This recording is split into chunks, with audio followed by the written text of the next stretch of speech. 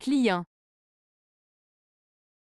Le mot client a plusieurs significations en français. Voici les plus courantes. 1. Une personne qui achète un produit ou un service dans un commerce ou une entreprise. Exemple. Le client est roi dans ce magasin. 2. Une personne qui utilise régulièrement les services d'un professionnel ou d'une entreprise. Exemple. Je suis un client fidèle de cet avocat depuis des années. 3. Un logiciel informatique ou une application qui se connecte à un serveur distant pour obtenir des informations ou des services. Exemple. J'utilise un lecteur de courrier électronique pour accéder à mes emails. 4.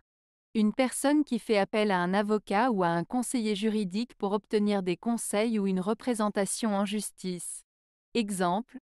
Les clients de ce cabinet d'avocats sont principalement des entreprises.